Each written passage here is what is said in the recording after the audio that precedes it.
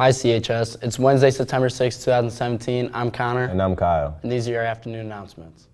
Cap and gown orders. Seniors, on Tuesday, September 12th, Balfour will be meeting with you for the for the distribute information on cap and gown orders, graduation announcements, etc. during first and second hours. Seniors with the last name of uh, senior with the A through L will report to the PAC after attendance has been taken first hour.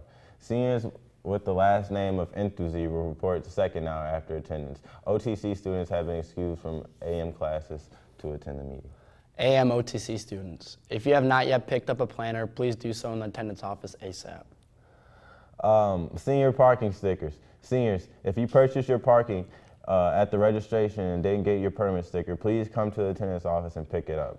Attention seniors, your executive board will be taking senior t-shirt orders today and Thursday at all lunches. You can also drop your order form payment to Miss O'Rourke A219 or Miss Grasso A220. All t-shirt orders are due by Friday, September 15th.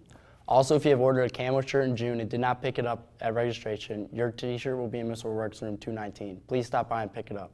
That's all for us, CHS. Have a great day.